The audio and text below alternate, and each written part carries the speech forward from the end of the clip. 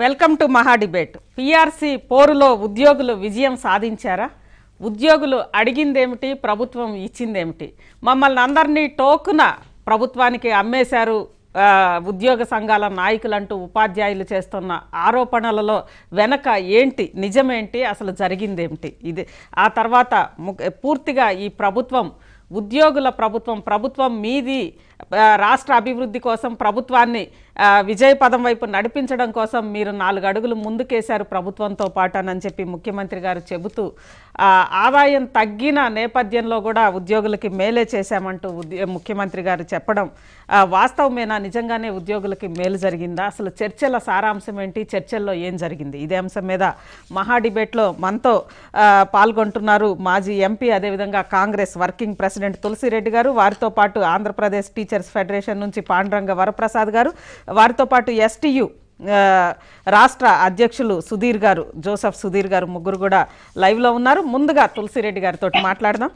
తులసిరెడ్డి గారు. Good evening. Tulasi Reddy గారు PRC పోర్లో అసలు ఉద్యోగులు విజయం సాధించారంటారా? ఉద్యోగులు అడిగిందేంటి? ప్రభుత్వం ఇచ్చిందేంటి? మనం ఉద్యోగ సంఘాల తరపున చెప్పాలంటే ఇది కొండను దవ్వి ఎరుకను పట్టినట్లుందని జనరల్గా అంటుంటారు కానీ ఇక్కడ కొండను తవ్వి ఎలుకను కూడా పట్టలేదు. కానీ వాళ్ళ చేతుల నుండి ఉంగరాలు వాచీలన్నీ పోగొట్టుకున్నారు. లేదు ఇంకొక మాట చెప్పాలంటే కొండ నాలుకకు మందు వేస్తే ఉన్న నాలుక ఊడిపోయిందన్న సందంగా తయారైంది. అది ఉద్యోగుల తరపున ఉద్యోగ సంఘాల తరపున మాట్లాడితే. ఇక ప్రభుత్వం తరపున మాట్లాడాలంటే ప్రభుత్వము అరచేతిలో వైకుంఠం చూపించింది. అది నమ్మించింది. ఇది అరచేతిలో వైకుంఠం ఉంటుంది అని వాళ్ళు నమ్మించేసింది. రెండవది మట్టి ముంత ఇచ్చి వెండి చెంబు దొంగలించింది. మట్టి ముంత ఇచ్చి వెండి చెంబు దొంగిలించింది. మూడవది చాలా క్లెవర్గా భారమంతా రాబో ప్రభుత్వాల మీద వేసింది. రిటైర్మెంట్ బెనిఫిట్స్ కానీ డిఏలు కానీ ఇవన్నీ వచ్చేసి ఈ ప్రభుత్వానికి ఈ రెండేళ్ళ పాటు ఏ ఇబ్బంది లేకుండా వచ్చే ప్రభుత్వాల మీద ఎందుకంటే రిటైర్మెంట్ వయసు పెంచి ఆ విధంగా రిటైర్మెంట్ బెనిఫిట్స్ లేకుండా చేశారు.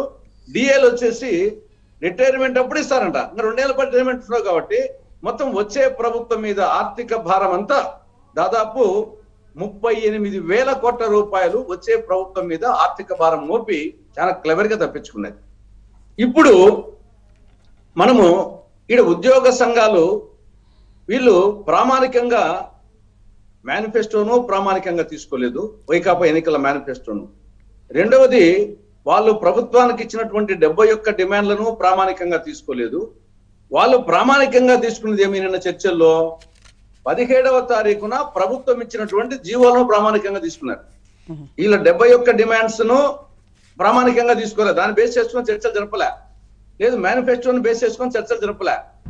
ప్రభుత్వం వచ్చేసి ఇచ్చిన జీవోలు బేస్ చేసుకొని చర్చలు జరిపింది. కాబట్టి ఫండమెంటల్గా ఉద్యోగ సంఘాలు ఫెయిల్ అయిపోయింది అక్కడ. ఇక్కడ మేనిఫెస్టో ప్రకారం అయితే ప్రధానంగా ఉద్యోగులకు సంబంధించిన హామీలు ఏమి మేనిఫెస్టోలో నాలుగు. ఒకటి సిపిఎస్ రద్దు చేస్తాం. దాని ఫర్దర్గా డెవలప్మెంట్ ఏమి? ఎన్నికల సభల్లో అధికారంలోకి వచ్చిన వారం రోజుల్లోపు రద్దు చేస్తాం.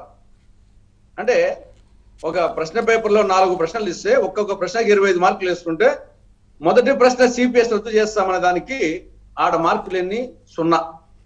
అసలు అవగాహన లేక అన్నాం చెప్పేశారు కదా. దానికి దానికి సిపిఎస్ గురించి దాని గురించి ఏం చెప్పారు?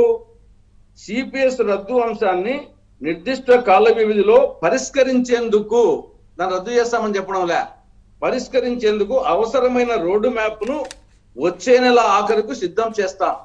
అంటే తప్పించుకునే మార్గమే. అది వచ్చేసి పరిష్కరించేటందుకే రద్దు చేస్తామని చెప్పడం లే.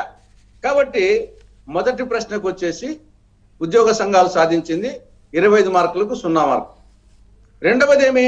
మేనిఫెస్టోల ప్రకారంగా కాంట్రాక్ట్ ఉద్యోగులను రెగ్యులరైజ్ చేస్తాం. అక్కడ కూడా ఆ ప్రస్తావనే లేదు. ఆడ ఇరవై ఐదు మార్కులకు సున్నా మార్కు. మూడో రెండో ప్రశ్నకు. మూడో ప్రశ్న ఏమి? అవుట్ సోర్సింగ్ సిబ్బందికి సమాన పనికి సమాన వేతనం కల్పిస్తాం. ఆడ జీరో ఇరవై ఐదుకు జీరో.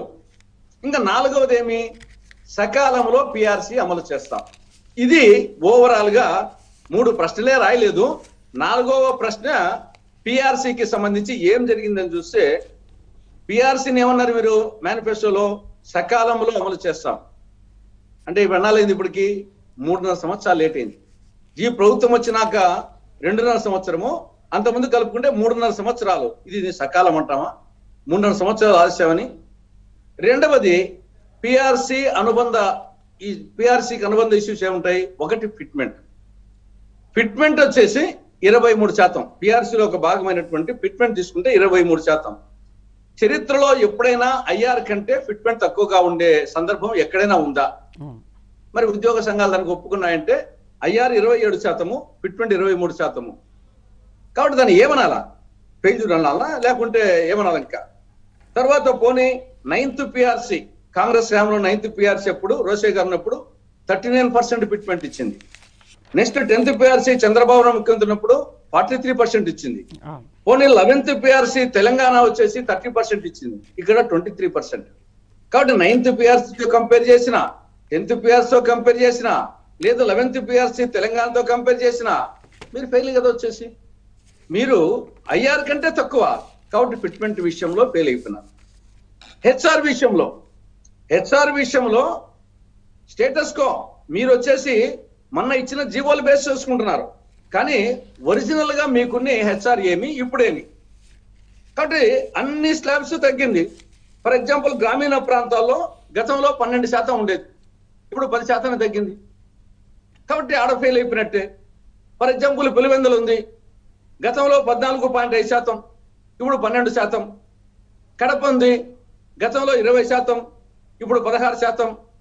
సచివాలయం ఉంది గతంలో ముప్పై శాతం ఇప్పుడు ఇరవై నాలుగు శాతం. విజయవాడ గతంలో ఇరవై శాతం ఇప్పుడు పదహారు శాతం. అంటే ఓవరాల్గా హెచ్ఆర్ఏ విషయంలో గతంతో కంపేర్ చేసినప్పుడు తగ్గింది. ఆట వచ్చేసి మైనస్ మార్కులు. సిసిఏ గతంలో ఉన్నది స్టేటస్ కో మెయింటైన్ చేశారు. ఏమి ఎక్కువేమి ఇవ్వలే. గతంలో ఉన్నది స్టేటస్ కో ఉంది. ఇక అడిషనల్ క్వాంటమ్ పెన్షన్. ఇక్కడ వచ్చేసి మళ్ళా ఫెయిలే డెబ్బై నుంచి డెబ్బై నాలుగు సంవత్సరాల వరకు గతంలో పది పర్సెంట్ ఉండేది ఇప్పుడు సెవెన్ పర్సెంట్ త్రీ పర్సెంట్ తగ్గింది. Seventy five to seventy nine గతంలో పదహైదు శాతం ఇప్పుడు పన్నెండు శాతం త్రీ పర్సెంట్ తగ్గింది. కాబట్టి అడిషనల్ క్వాంటమ్ పెన్షన్లో ఫెయిల్ తర్వాత డిఏలు ఏడు డిఏలు ఇప్పుడు ఇవ్వరంట. రిటైర్మెంట్ సమయంలో ఇస్తారంట. అంటే ఇంకా రెండేళ్ళు పెంచారు కదా. కాబట్టి వీళ్ళ పీరియడ్ రిటైర్మెంట్ ఉండదు. కాబట్టి జగన్మోహన్ రెడ్డి గారు ముఖ్యమంత్రిగా ఉన్న ఉన్నంత వరకు డిఏలు వచ్చేది ఉండదు రిటైర్మెంట్ బెనిఫిట్స్ వచ్చేది ఉండదు. వచ్చే ప్రభుత్వానికి ఈ డిఏలు డిఏల భారమే ఒక్కొక్క ఉద్యోగికి ఈ ఏడు డిఏలు కలిసి యావరేజ్గా రెండు లక్షలు వేసుకుంటే పద్నాలుగు లక్షల ఉద్యోగస్తులకు ఇరవై ఎనిమిది వేల కోట్ల రూపాయలు ఒక్క డిఏ రూపంలో. వచ్చేసి వచ్చే ప్రభుత్వం మీద వేసింది. క్లవర్గా ఈ ప్రభుత్వం. కాబట్టి ఇక నిరుద్యోగుల అంశమే మర్చిపోయినారు.